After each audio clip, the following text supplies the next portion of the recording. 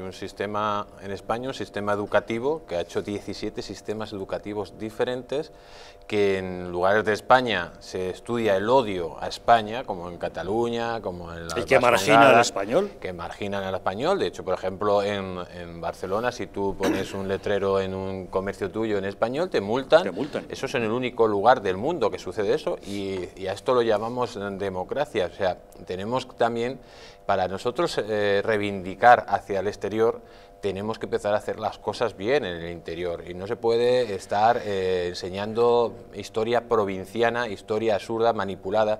El otro día me mandan un libro eh, y me lo marcaban, decían que que claro, que cuando llegan los musulmanes en España, que eran mucho más tolerantes que los cristianos. O sea, habría que recordarles a que escribe el libro que los, el Islam, eh, la palabra Islam significa sometimiento y que su principal empresa era la esclavitud, ¿no? O sea, esclavizar a los, a los cristianos, eran súper tolerantes, ¿no?